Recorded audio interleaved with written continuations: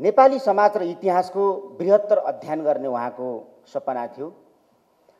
पुष्पलाल आफै अर्ग्यानिक एक अनुसन्धानकर्ता पनि हुनुहुन्थ्यो। नेपालमा राजतन्त्रको उत्थान र पतन मातृसत्ता सम्बन्धी उहाँले लेखेको रचना निकै नै फराकिलो र मार्गनिर्देशक जस्तो लाग्छ मलाई। नेपाली समाजलाई मार्क्सवादी दृष्टिकोणबाट अध्ययन गर्ने काम सुरु गर्नुभएको थियो त्यो पुरा भएन।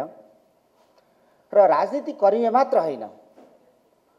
राजनीतिक कर्मी मात्रै यो प्रश्नको जवाफ अब खोजेर भेटिँदैन। बुद्धिजीवी लेखक मिलेर हामीले यो प्रश्नहरूको साझा जवाफ खोज्नुपर्ने आजको हाम्रो दुई कार्यभार हो।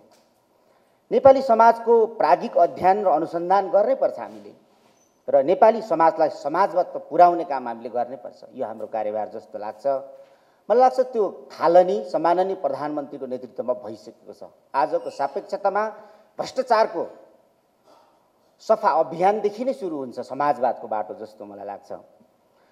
र नेपाली समाज कस्तो हुने? नेपाली समाजवाद कस्तो हुने? नेपाली समाजको समाजवादको विशेषता के के हो? नेपाली समाज कसरी बनेको छ? र समाजवादमा जा पुग्नको निम्ति के के काम गर्नुपर्छ? अनि त्यति मात्र होइन नेपाली समाजमा चलिरहेको सांस्कृतिक अभ्यासहरूलाई कसरी जीवित गराउने र कसरी विकास गर्ने? नेपाली समाजवाद नेपाली विशेषताको नेपाली माटोमै छ भन्ने मलाई लाग्छ।